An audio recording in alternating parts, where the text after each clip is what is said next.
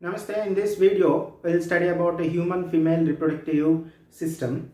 Let's see the parts of this okay uh, reproductive system in uh, human females.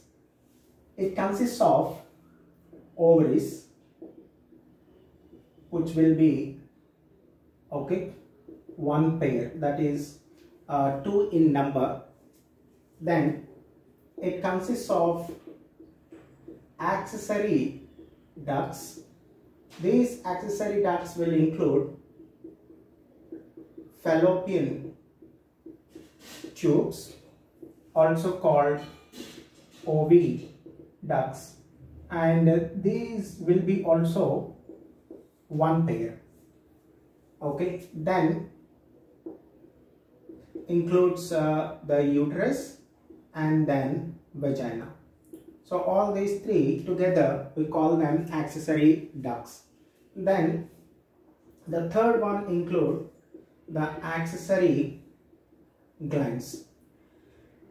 The accessory glands include okay mammary glands which will be one pair and then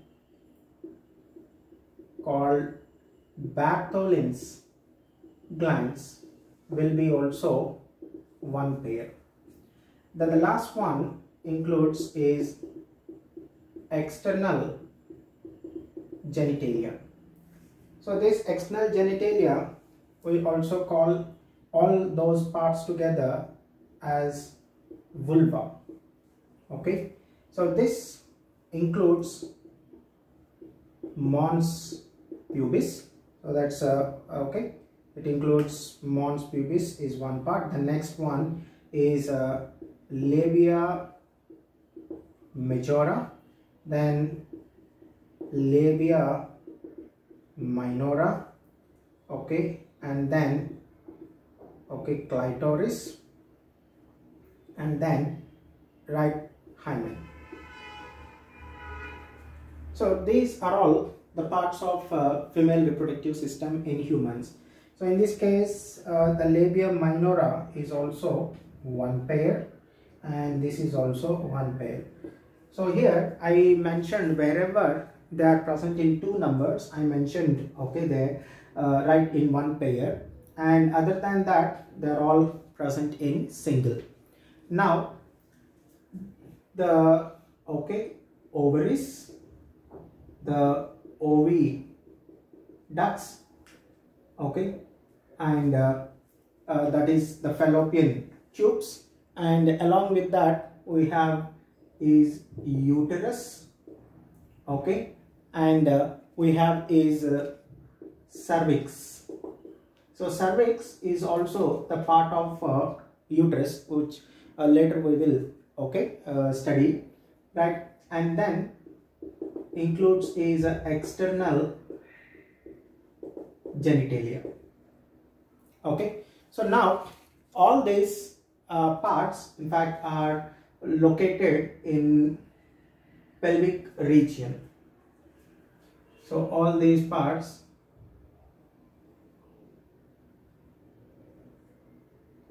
located in pelvic region. Okay. Now these structures right along with the, the mammary glands. So all these structures along with the mammary glands of course all these together okay they function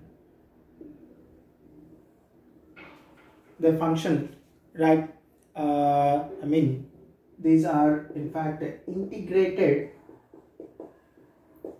structurally and functionally. Right?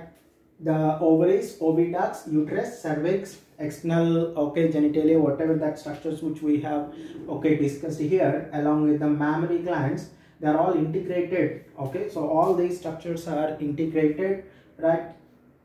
Structurally as well as uh, functionally right? To support okay so all these going to support okay right the processes support the processes okay like uh, ovulation. So ovulation is uh, okay release of uh, egg. So it supports uh, ovulation then it supports okay fertilization the union of gametes. Then it supports pregnancy and child birth and child care so all these okay processes are supported okay by all these structures. So that uh, that is why i said uh, it has integrated okay structurally and uh, functionally right. Now we'll see uh, these structures. The first one we'll see about ovaries.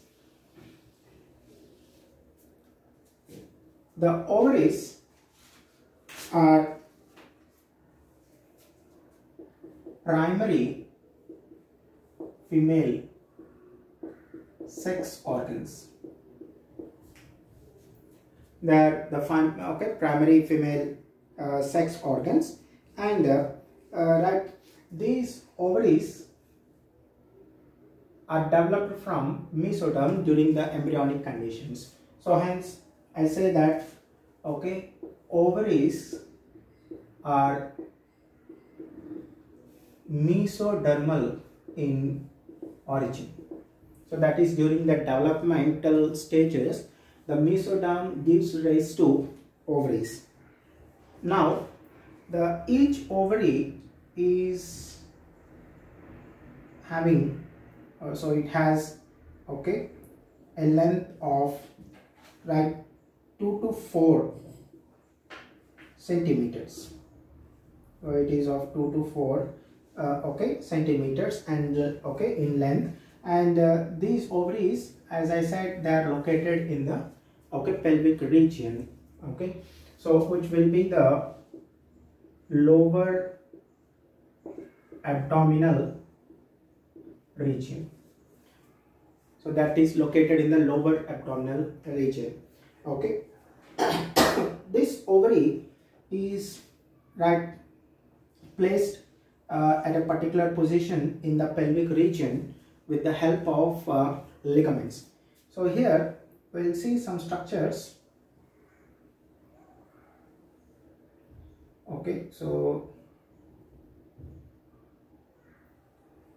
these are all the finger-like projections of the fallopian tube. We'll see that structure in detail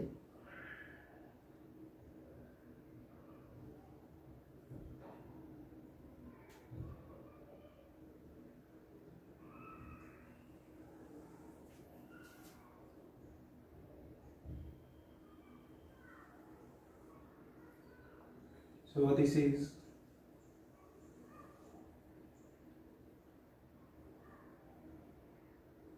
so this portion is uterus okay? And this is the ovary right? Okay? And uh, this ovary is uh, placed at a particular position in the okay pelvic region with the help of uh, ligaments. So we'll see those ligaments. Okay so one of these ligament attaches this ovary okay to the uterus. You may find one more okay here. And one more you will see. Okay so this is called the broad ligament. Okay? And this one is called okay right the suspensory ligament. Okay? And uh, this one is called ovarian ligament okay. So with the help of these uh, ligaments okay the ovary is placed in right position okay? Right. Now when we see the internal structure of the ovary the ovary is covered by okay a right uh, it has a, a thin epithelium. Okay so ovary each ovary is covered by okay thin epithelium. So this thin epithelium is the cover okay? And uh, inside uh, the ovary we have is ovarian stroma. Okay? Right. So this ovarian stroma has two more distinguishable regions uh, one we call cortex. So this will be located peripheral okay? And another one called medulla. This will be the innermost portion. So if you cut okay the ovary in a longitudinal section okay we'll see so ls of ovary. In the ls you may find an outer okay portion. So this is the thin epithelium okay? And inside this is the ovarian stroma. And this ovarian stroma is again shows two distinct regions. Okay? This outermost portion is what we call the cortex. And this innermost portion I call it a medulla. Okay? So now what is present in the case of okay uh, cortex. So this cortex is a region right that contains ova at various stages of development. So it consists of okay ova at various stages of development. So you may see okay so the structures right? So becoming something like this right? So these are all okay? So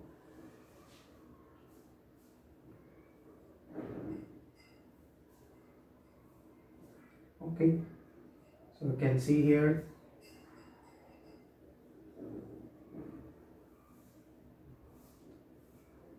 right.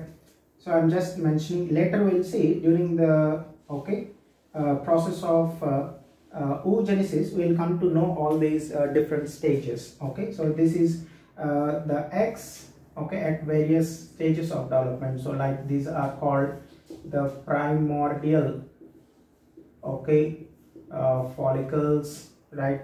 So you may see here okay the one called right the secondary right follicle and so on and so and uh, this is the one that has uh, released the egg here okay? So I can call it uh, a Graafian follicle. We'll see all those different stages. So here I'm not mentioning uh, all these uh, different stages of oogenesis just we are uh, getting aware of what is present in case of cortex. So as I said the cortex consists of ova at various stages of development. Okay so here these are all okay at various stages of development. Now what is uh, present in case of uh, uh, medulla?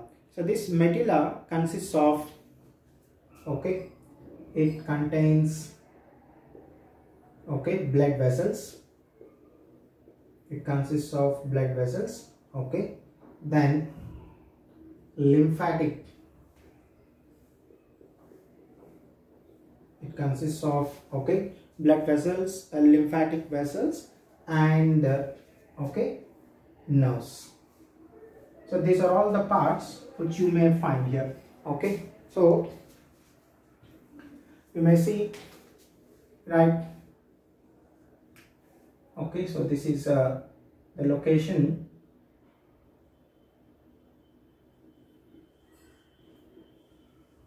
okay so different. Okay blood vessels arteries veins. Okay all they pass here. Okay so in into this uh, medulla uh, region. This is how you will be. Okay seeing the structure of ovary. Right so this is the one that consists of okay like uh, arteries okay.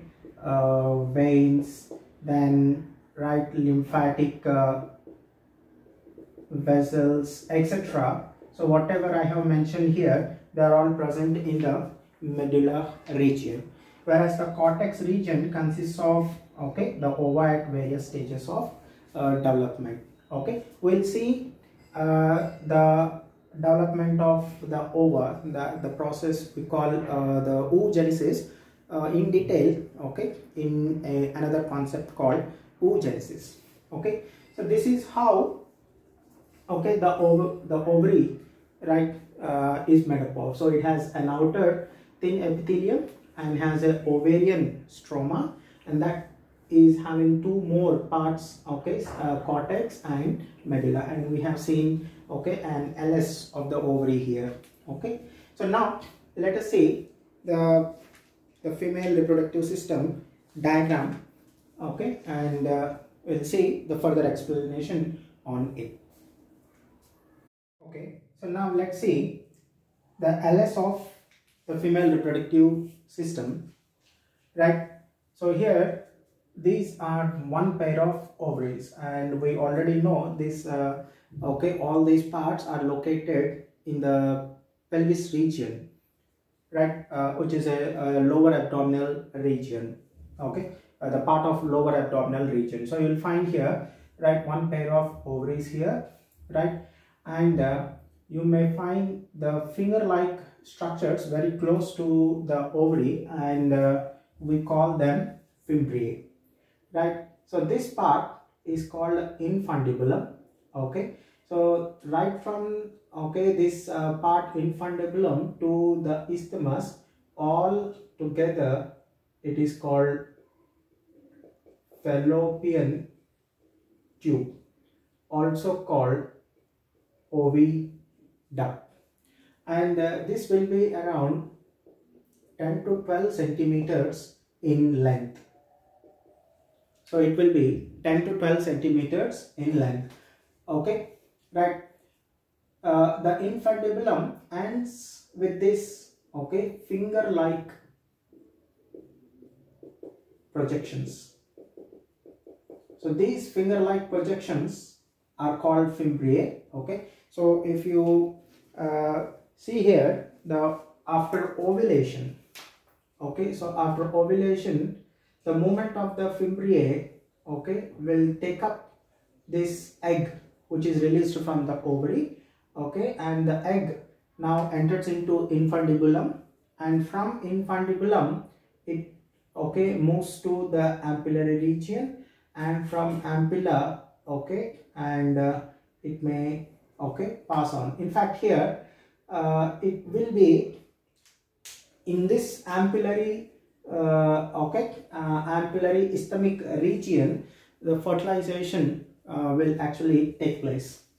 Okay we'll see first uh, about this right infundibulum.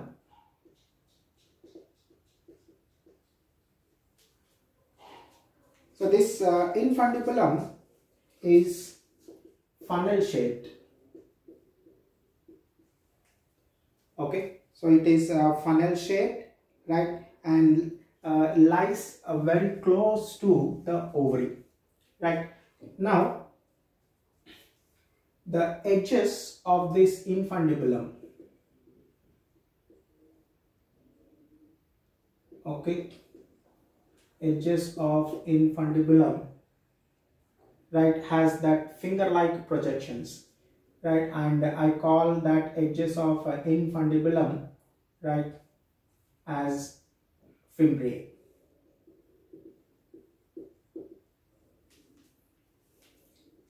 Okay then these fimbriae are the one that actually help in collecting okay ovum after ovulation okay? Then the second part of the fallopian tube is ampulla. This ampulla is the middle part of the fallopian tube and uh, this portion will be wider when we compare with the infundibulum and uh, isthmus. Okay? Uh, that's what it will be connecting infundibulum with the isthmus. This is also the longest part right among the three. So uh, when you compare infundibulum and isthmus okay? So this portion ampulla portion will be okay longer right? And uh, I have to keep in mind that right it is in the ampullary isthmic junction. So at this okay point fertilization occurs okay the next one the isthmus which uh, okay connects the ampulla with the okay uterus. So this is the narrow lumen portion of uh, right oviduct and this one joins ampulla with the uterus. Okay? So that is uh, about the oviduct now okay right? So all these parts uh, are the one that come under this uh, fallopian tube or oviduct okay? We understood that once the uh, okay egg is released from the ovary the fimbriae will help it to collect and then pass it to infundibulum and through ampulla and isthmus and usually this is a location uh, the ampullary isthmic junction is a location where fertilization takes place okay? So after that uh, the further stages slowly move down into the uterine cavity and then the implantation takes place. All those implantation and everything will come across in the coming classes okay? Now right so here there is a small bulging portion okay of the uterus. We call it uterine fundus. And you can see here uh, all this is a space inside the uterus and we call it a uterine cavity okay. Of course it is in this uterine cavity uh, the development of the embryo takes place right?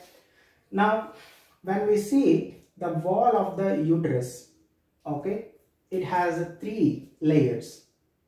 One the outermost one the outer layer this is the outer layer okay? And the endometrium will be the inner layer okay? And obviously the myometrium will be the middle layer. Now the wall of the uterus all these three layers okay? This will be the middle layer. All together form the wall of uterus. So perimetrium myometrium and uh, endometrium okay? So now uh, let's see uh, the three parts here. So how actually right what actually the perimetrium is uh, the myometrium and endometrium.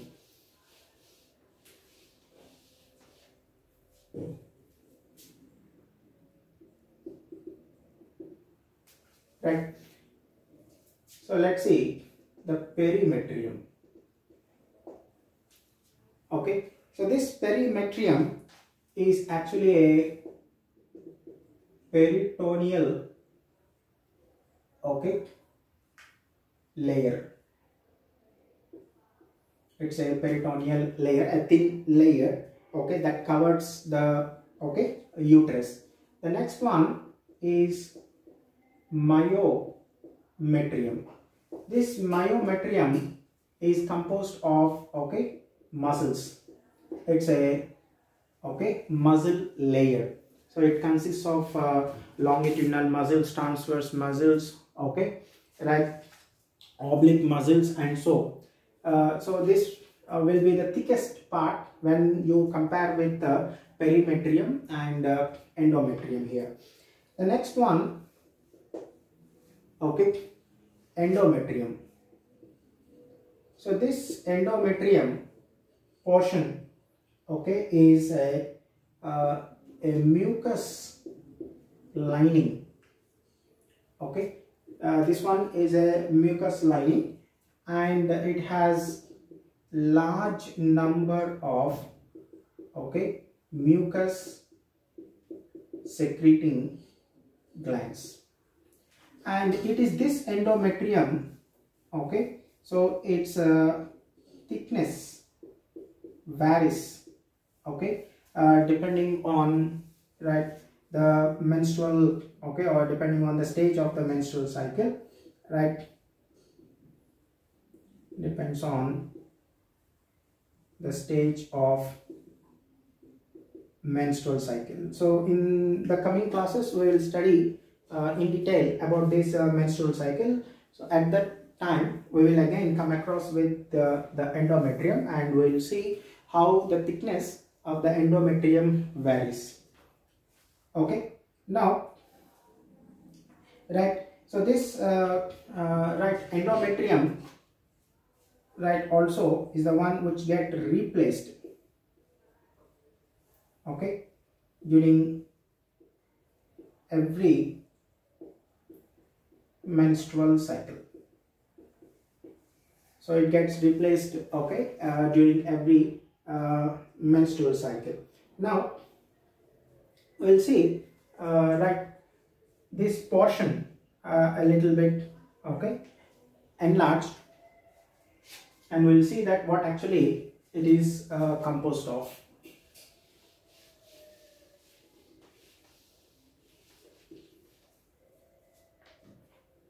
Okay so here this is the peritoneal layer okay? Is the peritoneal layer and uh, and we know that below that okay peritoneal layer so this is the outermost uh, layer. Below that we have is the myometrium okay? So we have here this is from here to here is myometrium and this is the perimetrium okay? And then right so from this portion you may find the okay actual endometrium. So you see here so how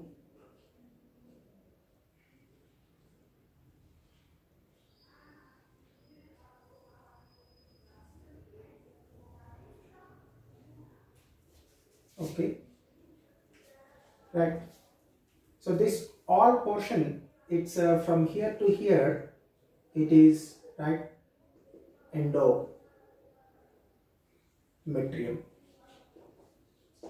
Okay? Right. Now this portion the endometrium actually has uh, okay two more layers.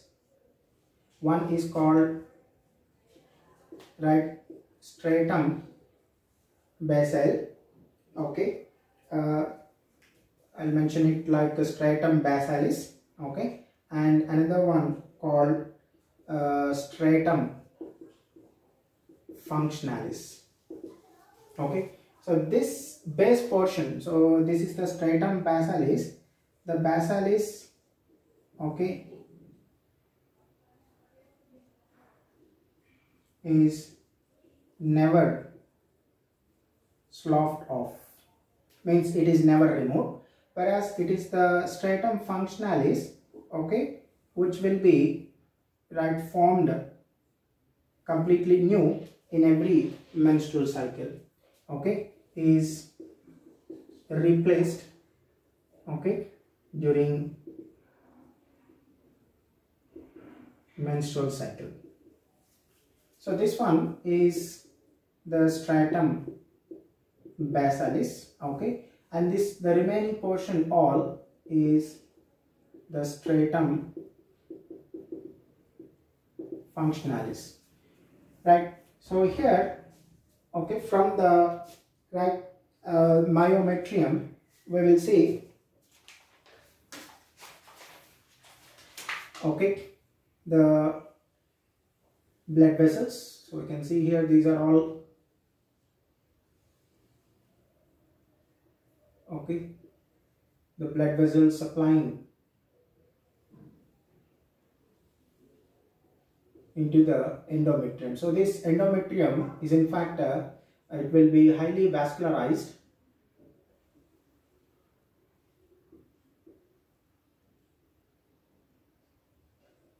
right? So this is an artery supplying okay blood.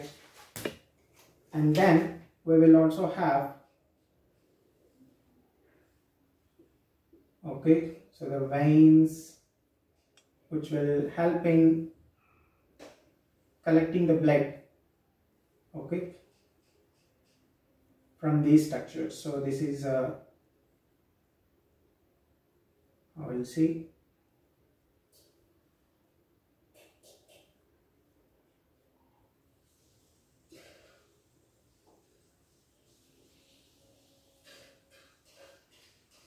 okay so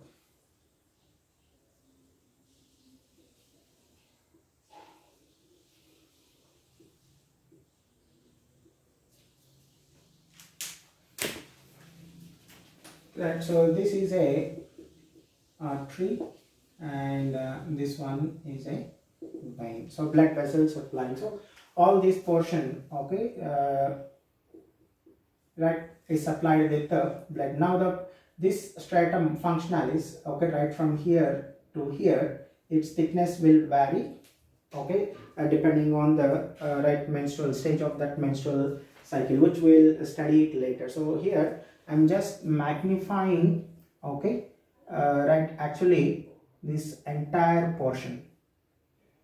So i'm magnifying this entire portion and uh, showing it here okay so this is uh, the wall of the endometrium, uh, how actually it looks like. Okay. Now coming to the uterus.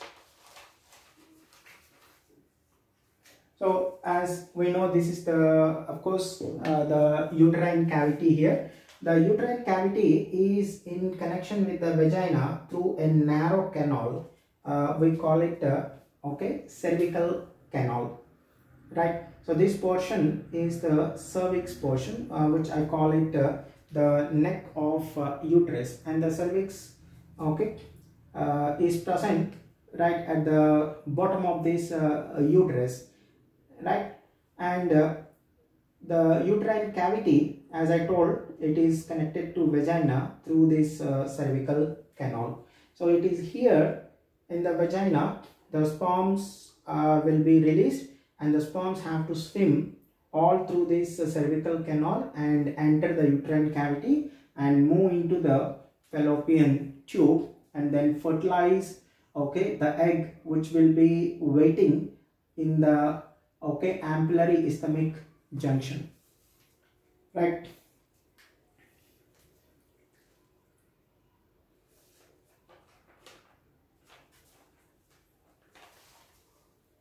Now we'll say about uh, external genitalia.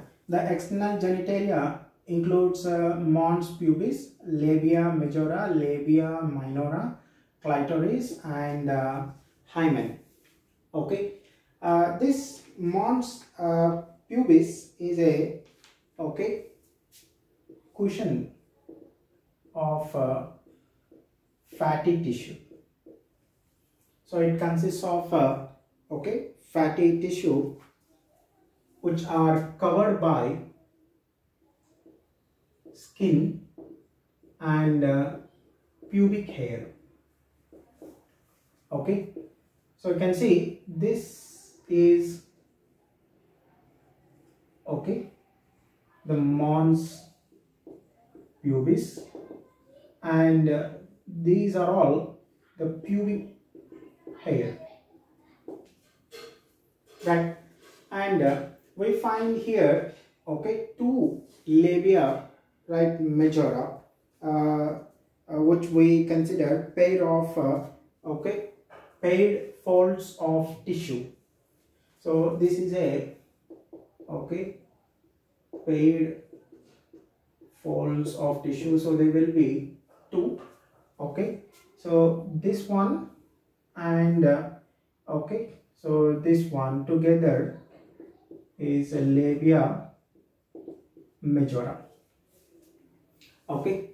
And uh, here you will see a structure called clitoris. Okay? So this will be a homologous organ.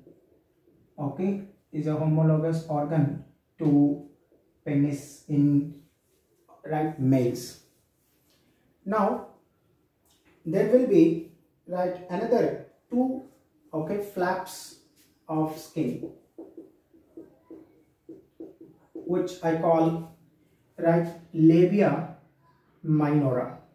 So you can see this one and this one called labia minora okay?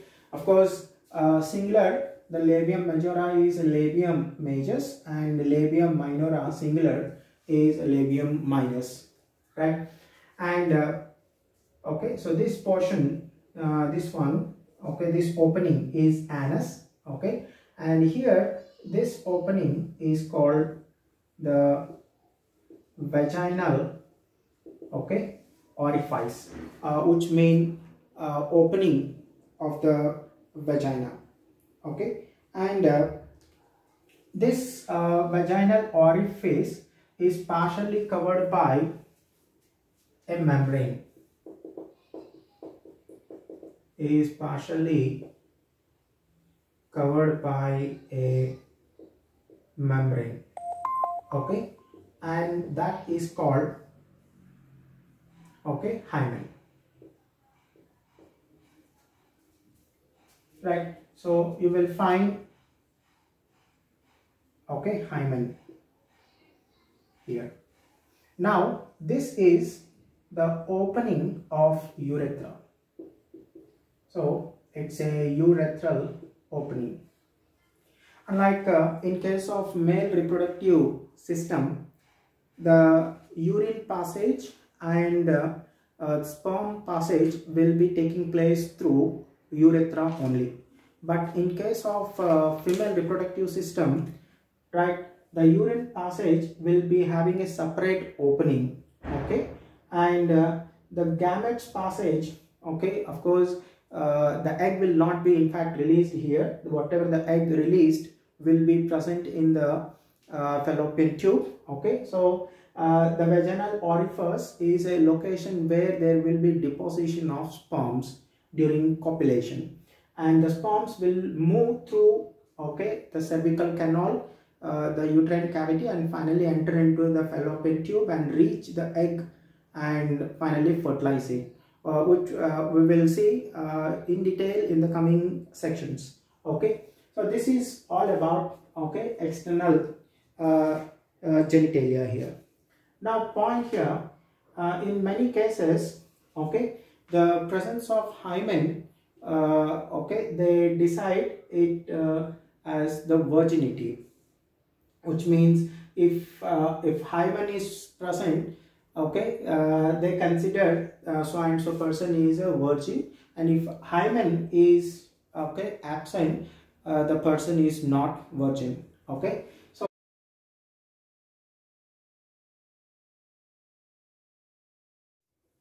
so this clitoris is a finger like structure okay which I already said uh, is a structure that is homologous to okay a penis of males. Right now, okay, so this uh, vaginal orifice is actually covered by a membrane, okay, and that we call it a hymen. Okay, uh, there is a misbelief in many people, okay, uh, saying that if hymen is present, the person is virgin, and if hymen is absent, the person is not virgin. But actually, okay, the virginity cannot be decided based on okay presence or absence of hymen. This is because okay uh, actually uh, this hymen is okay broken off during the uh, sexual intercourse. So normally okay is torn off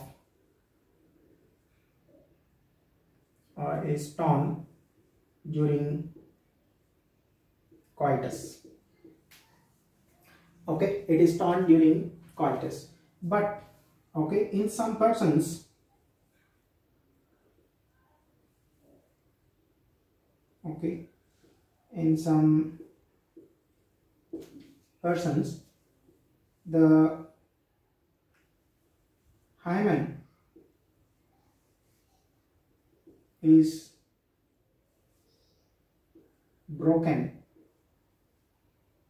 okay due to okay sports. The sports like uh, horseback riding okay cycling etc so such games can okay tear off this hymen. So here the hymen is tear off because of uh, uh, such okay sports not because of the sexual intercourse. So here the hymen is okay broken not due to sexual intercourse. As i told already the hymen is usually okay torn during okay torn is usually torn during okay coitus. But in this case hymen is broken due to sports okay and uh, not by okay coitus. And again in some cases in some cases okay the hymen still persists even after okay sexual intercourse. So we understand that even after sexual intercourse in some cases the hymen is still present okay and in some cases okay even though they do not have any sexual intercourse it can be broken so basing on this okay we cannot say that virginity uh, a, a person is a virgin or okay not a virgin based on presence or absence of hymen.